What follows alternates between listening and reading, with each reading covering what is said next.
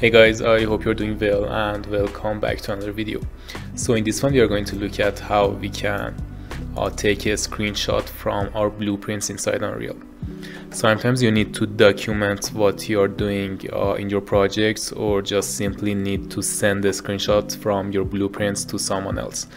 You can use this snipping tool in Windows and just uh, take it this way but there is actually a better and easier way to do this. There is a plugin called blueprint screenshot tool in the marketplace. Just search for a blueprint screenshot and then install it to the unreal version you're using. Then just go to the plugins and enable the tool and then after a restart you are able to see it inside your blueprints.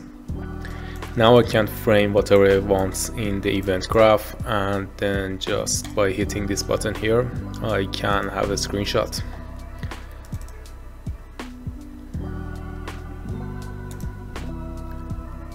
This will be also stored in the screenshots folder in your projects and it will be uh, beside other screenshots you take from uh, this high resolution screenshot button here. Yeah that's it guys. I just wanted to showcase you this tool and it can sometimes be helpful for your workflows. Thank you guys for watching. Peace out